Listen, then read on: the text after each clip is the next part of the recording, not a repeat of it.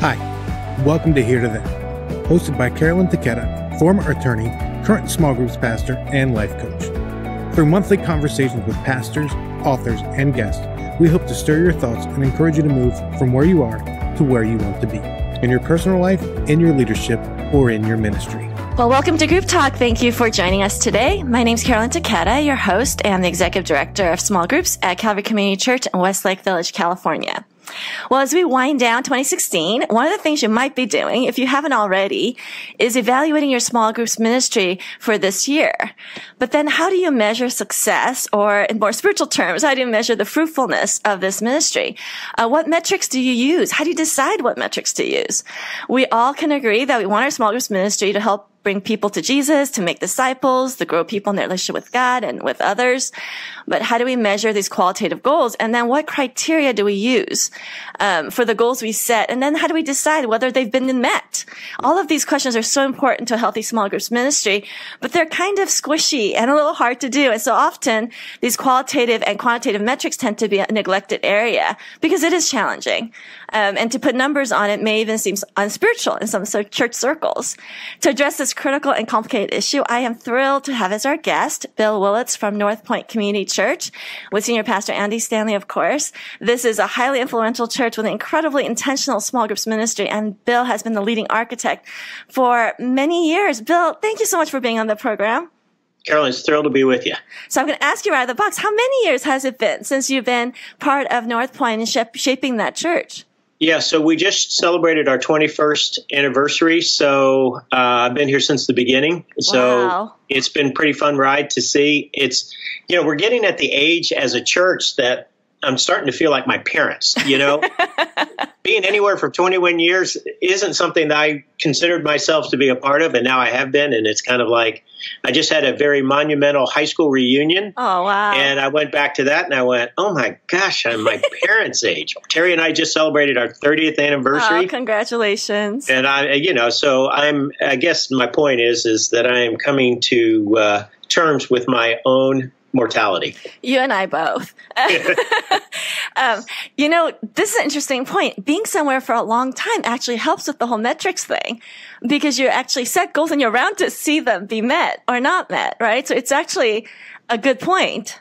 Well, I think it really helps you understand how you define success or define the, the win. And if you do it systematically or if you do it just haphazardly, and you learn by trial and error over time. You know, is that sure. really, really an indicator of anything important, or is it uh, just a nice to know piece of information? And that's always the tension when it comes to the issue of metrics, because Right. what I think what happens with um, I think the misnomer about metrics many times is that yeah, that's just for uh, our administrators. That's just for the people who are working, particularly when it comes to budgets and comes to finances.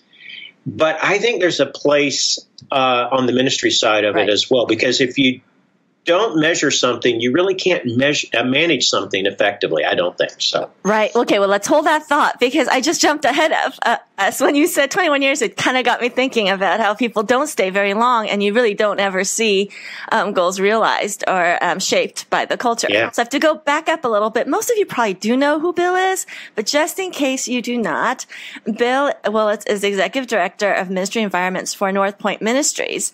North Point Ministries is the parent organization of six Atlanta churches. Wow, you guys have six now, uh, including North Point Community Church, which is the, the main one, and then as well as 23 strategic partners um, around the world. And Bill is one of the founding staff members, as you just said, um, of North Point and the architect of its small group ministry model.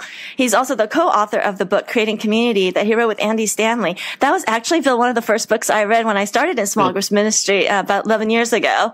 Um, and it was super helpful then, and it's still, I just saw it on someone's list of must read for small group pastors. So I would, I would echo that for sure. Um, Bill's passion for community along with his team has helped them connect over 80,000 children, students, and adults into the benefits of group life. Good grief. That's a lot of people. Well, it, it's been it's been quite a ride, that's for sure. And Bill, of course, is also um, is kind of what's considered. And there's only a few people I would consider this way, an expert to the experts. Um, there's a handful of people that we have benefited from in small group ministry world, and you have been such a um, a generous mentor to a lot of us and a lot of small group pastors over the years. So I'm especially happy to have you here. Okay, now that we've gotten through the the why you're here part, okay, so let's dive in um, to this topic of metrics. I because of my legal background, I really like facts and numbers. But I sure. found, I found early on in church ministry that people in churches tend to have a love-hate relationship with numbers. On the one hand, we do care how many people worship with us. We do care how many are baptized and how many are in groups and serve and all of those things, right? Like the administrative stuff somewhat. But then there's also seems to be this tension about feeling a little apologetic almost or guilty or like kind of poo-pooing the, the less quali- quantitative measures and not wanting to talk about budgets or talk about how many people actually get connected and stay in groups. Uh, why do you think, do you agree that there is this kind of love hate tension? No, no, no question. Uh, for the first six years out of college, I worked for Procter and Gamble, and I was in sales management, and so I, I've felt it on both sides of the fence. On the one side, coming into ministry from the business community, I've uh, I felt like there was this mystery shroud that covered over yes. ministry. How do we know we're being effective? Yes. And so what we would do is we tend to look at uh, buildings, budgets, and baptisms is what we used to call them. The three Bs. The three Bs. and those were kind of the indicators.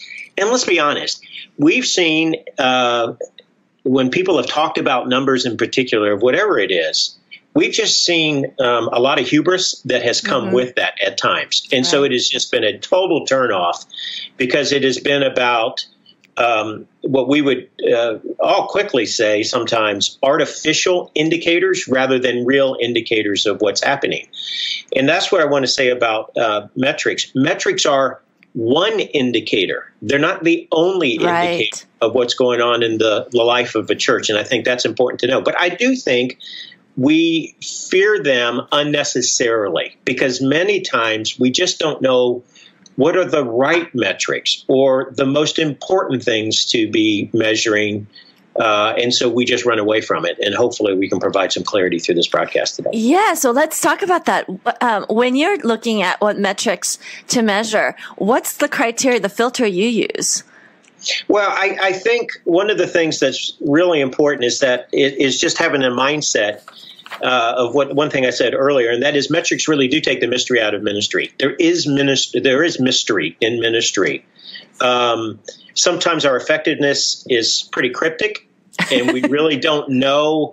How do we know if somebody's actually growing in their walk with Jesus? That's a million dollar question, isn't it? it really is. And then and then sometimes progress when we do try to lean into a direction it gets overblown or it's it's quite nebulous it's just anecdotal it's not right. really factual so metrics to me provide benchmarks for uh, the results you're trying to achieve. In other words, they clarify the standards, they normalize activity, they help you understand where you are so you can actually take steps as to where you want to go. So uh, I just wanted to say real quickly that metrics for me are so important because I came into ministry thinking if it's all anecdotal um, and it's all based on one person's um, opinion, right? And how do we really know if we're making any progress. So I think the fact that they provide benchmarks are really important. Um, but again, as I said, I think earlier, is they are they are indicators, but not sole determinants. I think that's a real important thing to go. Okay, so good dashboards or good uh, metrics. What are some good things? Well, I think that uh, metrics have to be tied to what you have identified as your clear wins and your critical factors of success for, your, um, for the specific ministry. So, like for that specific ministry. So, for example, uh, in every one of our ministry dashboards, and I'm going to use small groups as an example of that. Right. We have a mission statement that is clearly articulated for what that um, ministry is all about. But then we've identified as what are the measurable wins that help us understand if we're really making progress. Now, the reason why this is so important is because everybody who's leading a ministry area wants to win. Sure. Nobody got into this to be mediocre. Nobody got, in, got into ministry to simply tread water. They really wanted to see progress take place in the lives of people. And there are things that we can identify that we would say are helpful steps. Now, they're not complete indicators. Sure. If a person is growing, but we do know if, for let's use connection as an example, if a person is not known uh, by a few and intentionally committing um, um, to walk through life with other people speaking into their life, we know that they can live in self deception. They can live sure. in a way that is not challenging or encourage them to grow in their walk with Jesus. So we know connection is critically important for a person's spiritual formation. So why wouldn't we measure how effective are we at getting people into our small group processes? That's a key indicator. So here are some of our measurable wins okay. when it comes to small groups. So uh, obviously, basic participation. So people participation is one of our measurable wins. Another is the fact that disconnected people are now getting connected for the first time. So you, identif- uh, you identify who um, new people getting connected. Is that what you mean by disconnected? That's right. So we ask people on the front side. We ask them, um, "Are you currently in any kind of small group?" And one of the things that we want to do, we're a unique kind of church because we, um, in the sense of we have a passion for evangelism and partnership uh, using our weekend services, but we want people to continue to take steps. Not just uh, we we say it this way: circles are better than rows. Now rows are you know we've, we've all uh, adopted that line by the way. That's and, great. And once in a while, in fact, two guests recently I said that, and I'm like, are we giving Bill any credit for this? no, that's fine. It doesn't matter. Um, circles but, are but, better than rows. Yes, but the but the whole idea the row is the starting point, but it's not the end point. So, how do we continue to help people uh, take next steps? So, one of the measurements that we actually have for our service programming team, our weekend worship service team, is the number of next steps people are taking out of the worship service. Hmm. It's a key indicator of their success because their goal is not just to have people show up, it's also to make sure that we're mobilizing them to take next steps. So, for us in groups, people participating, disconnected people getting connected. Leaders replacing themselves is a huge piece for us because yes. our leader pool really comes out of an apprentice pool. And then last one is leader retention. Um, how effective are we at pouring into developing, coaching, uh, walking with our leaders so that this is a win-win proposition. It's not just a ministry to go do, right. but it's also a ministry that they're experiencing for themselves. You know, when you talked about benchmark, I do I do believe that one of the benefits of having some sort of a metric a system in a non in an intentional way is that then you can measure it year by year because um, sometimes that information seems more helpful to see trajectory of ministry. Like, yes, we want the wins, but sometimes ministry is so slow sometimes. Yes. Um, and so you know, I'm curious, how many of these measurements uh, were you paying attention to in year one or year two, or did you develop them over time, or how did this come great about? Question. Yeah, a great question. Wondering, I've always, uh, and again, part of it is because I was in such a metric world when I was in my previous life, as I like to call it, on the business side, um, has been an important piece. But asking the right questions and coming up with the right metrics has been certainly an evolutionary process. I would not say, other than pure participation numbers and leader numbers, we looked at uh, metrics quite seriously in the first three to five years of our church. I mean, I, we were um, experiencing pretty rapid growth, and so we were really coming up with our systems mm-hmm. in the first five years. But after that, we started asking ourselves, are these systems becoming effective? And that's when we looked at what I would call both qualitative and quantitative measurements. Okay, so we have measurable wins. I gave you the four measurable mm-hmm. wins, but then we have gauges that tell us hmm. about each of those measurable wins. So, for example, we identified the measurable wins. Then we said, okay, one of the gauges that's going to help us understand is what is just the total number year over year that we have uh, people participating? That's an indication of have sure. we made it easy for people to take a step. Then we do a comparison. And again, there's nothing magical about this comparison, but we look at group participation versus worship service participation oh. as a percentage.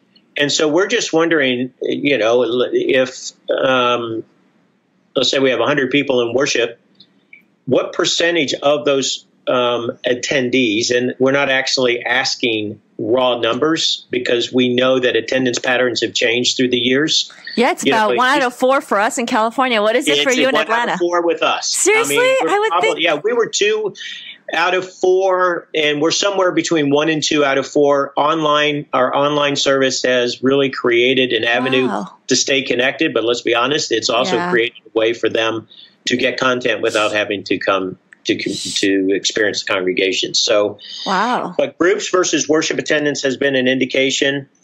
Then we also ask a gauge of participant satisfaction. So we do a survey every year of Huh. our group leaders. And if you go to, uh, if you want this survey, I Yes. think it's, if they go to inside uh, northpoint.org, there is a section for the various ministry areas. And under ministries is groups, and in groups, I think that survey exists. Oh, that's but- fantastic. Thank you.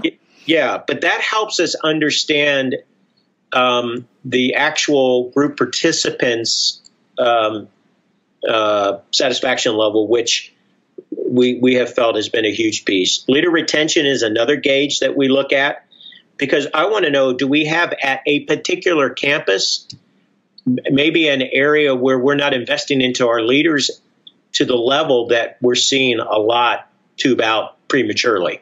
So this metric gives me an opportunity to say whether it's in married groups or men's groups Right. or groups or whatever, uh, macroly as well as at a campus level, um, how effective are we in retaining our volunteers? what do you think is the typical retention rate that uh, kind of, you know, you do other consulting and other speaking and stuff in general, uh, with North Point and outside of North Point? What do you think is the typical retention rate for uh, leaders?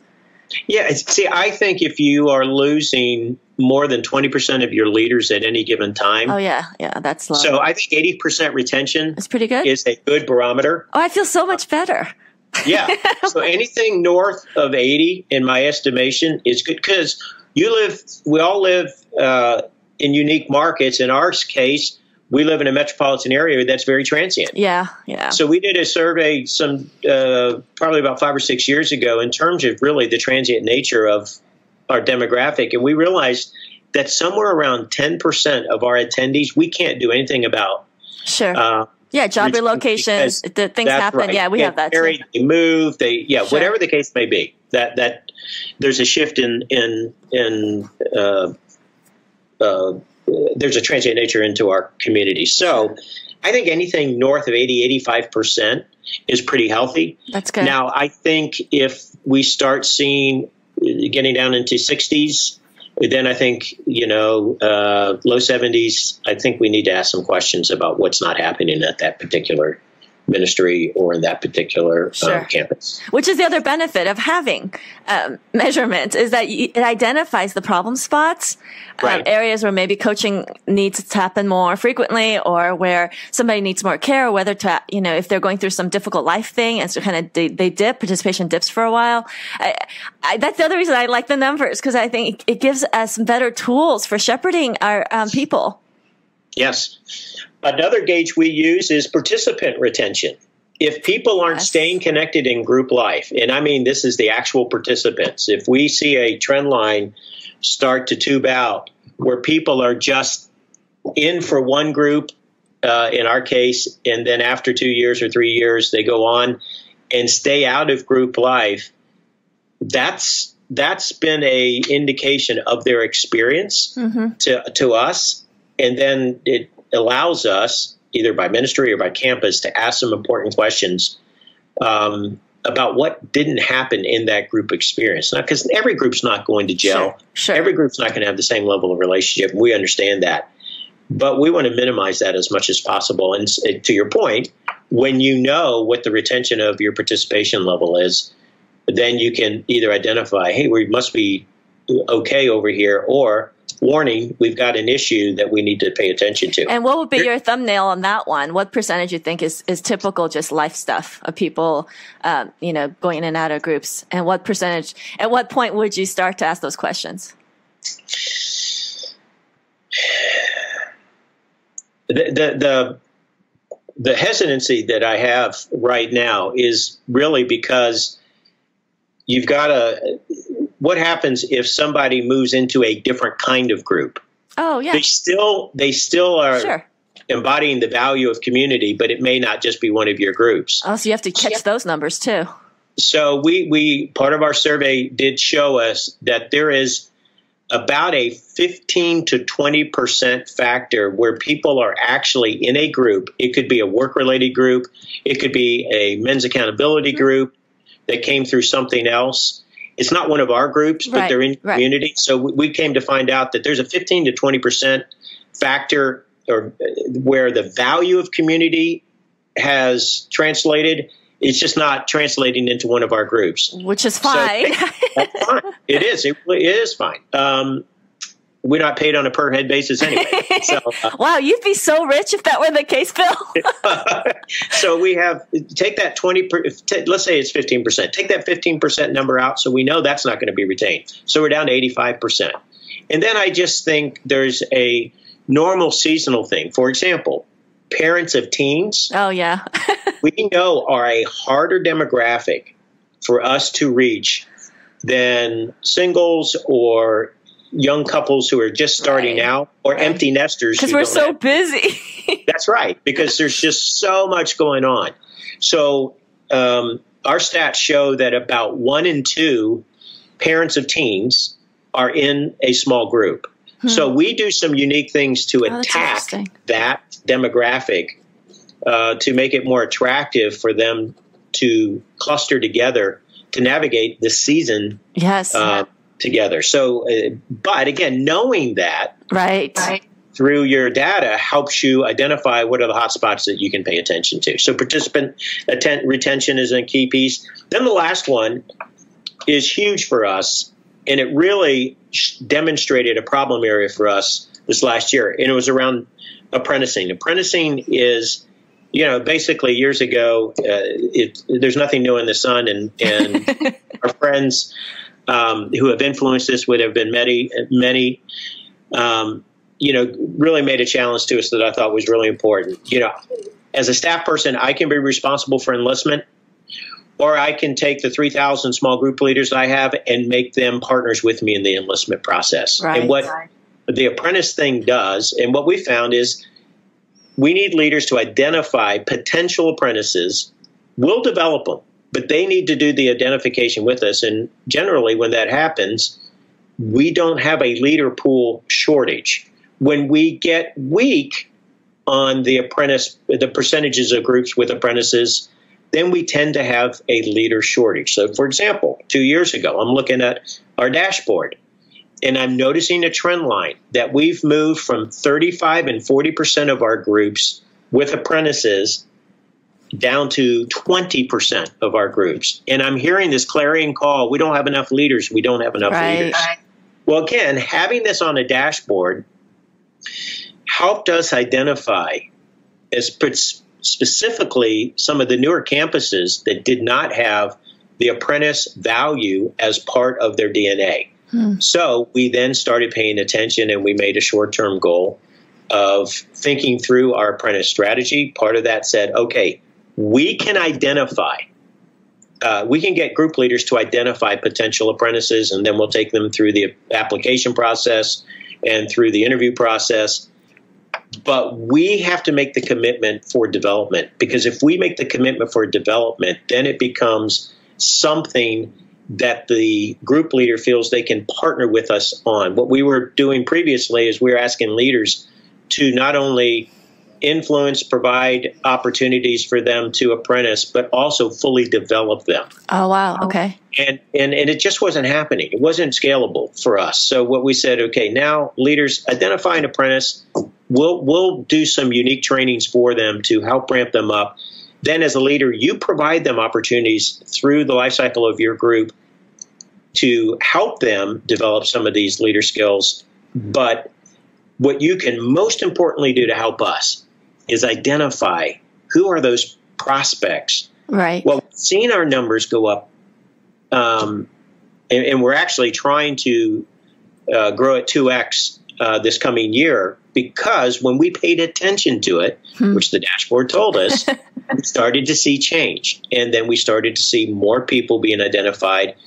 As a result, more people brought into the game wow. of leadership. That's a great example of how the, the metrics and the dashboard really helps you um, clarify.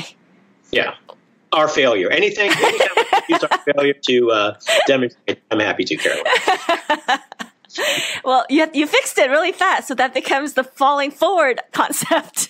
yeah, now there you go. There you go. but one thing I would say, and I do this on all of our ministry dashboards and groups not exempt, is I think you know dashboards must measure quantitative data. It must measure qualitative. So, what's the overall satisfaction uh, rate? And so we do that through our surveys. But I think dashboards should also contain something else. I think they should contain stories huh. because numbers move our heads, but stories move our hearts. And so on every ministry dashboard, I love to see a story coming out of a campus or a small group or whatever the case may be that helps us understand in a fresh way where it's working and whom it's impacting and what kind of impact is it really having. And um, I think many times we can just get lost in the weeds with the numbers, which are good and important indicators, and we could forget the stories are why we got into ministry. Right. This right. life change uh, are, are, is what we really are about. And so, how do we, in the midst of data, get back to um, the storylines of people's journeys. And so you so, actually ask them for the story then? Is that how you collect that data? Yes. Yeah, so for every ministry, we ask them, give me one story from this past reporting period that really indicated you were making progress because we never wanted data to be the only indicator. Sure. But we did want it to have a seat at the table. And uh, honestly, the thing that's always the most uh, encouraging and motivating and inspiring are those stories where where if it's an adult where they were far from God sure. and they to know Jesus personally and then they began their journey. That's what motivates us. For a kid when they you know discover for the first time because of a broken family that they have a heavenly father that's nothing like their imperfect father. Right. They have a perfect heavenly father. Those kinds of things. And uh, so it almost operates as a checks and balances of sorts, right? Because initially we were talking about how the, the riskiness of taking anecdotes or stories yes. in the lobby or whatnot. You know, you hear one story and then you go, wow, small groups is going great for all 50 groups. But you don't know that. You only heard one story of one group. The That's other right. groups may not be really doing much of anything, but, you know, sitting around. So it kind of bounces out on the flip side, though. You could have fantastic numbers and have, you know, 80% of your weekend attenders in a group but without the story and without next measuring next step movement, whether I'm assuming some of your next steps are probably related to serving, baptism, and uh, yes. and ministry, that that type of thing, or evangelism, then you don't know if there's actually any forward momentum in those groups too. So it seems like having the qualitative, quantitative have to go together, along with I would say the stories of the spiritual component. They, they really are. And, and, they're the things that give you lift. They're the things that really motivate you back into why we got into this to begin with. Because none of us got into ministry for spreadsheets. Okay. I mean, let's be honest. Uh, okay. Unless there you're a little sick people, in some way.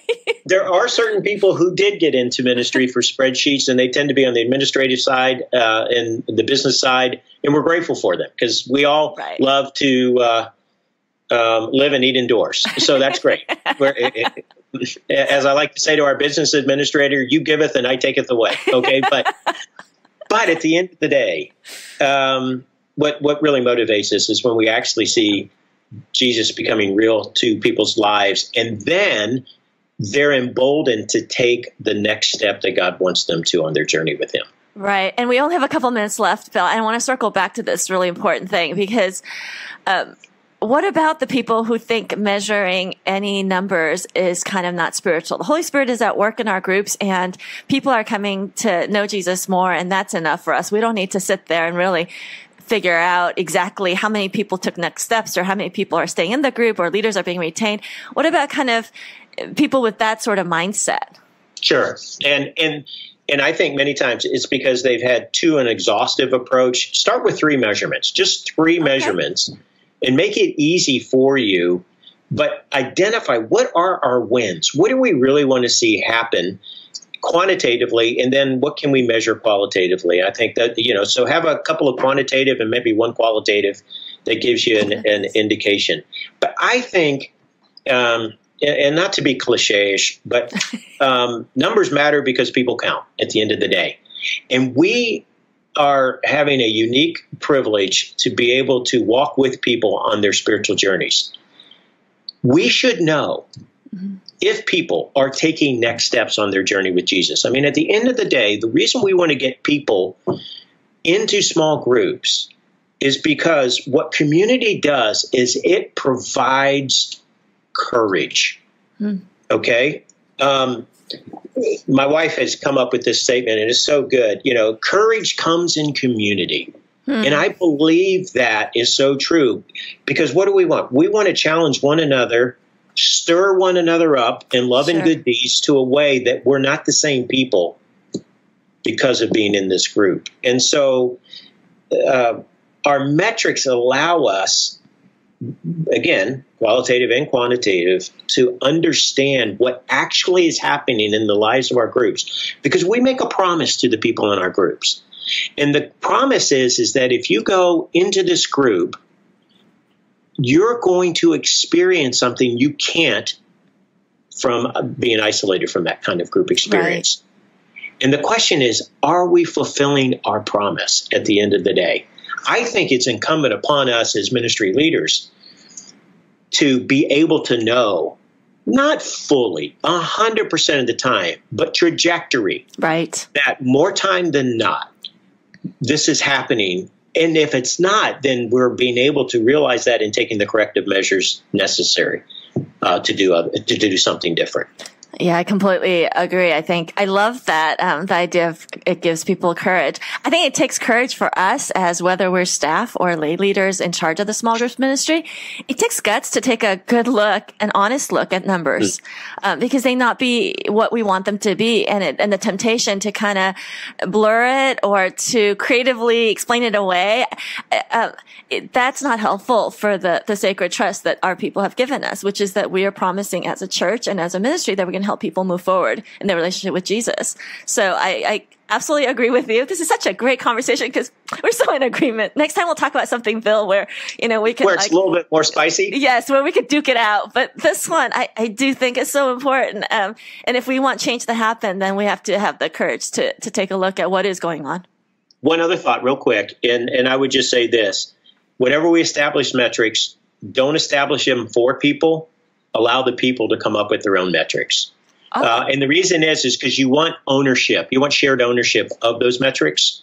So if I come in, let's just say for our children's ministry, and come up with what their metrics are, mm-hmm. they have no ownership in it. But if I say, okay, what are your measurable wins? They identify them. What are the key indicators or the gauges we're going to look at? They identify them. Then there's a sense of ownership that they have. And I think in groups we should do that, and maybe in some cases uh, bring in group leaders to be able to speak into how do we define success? What should be our measurable wins? What are the quantitative and qualitative uh, measurements that we should pay attention to?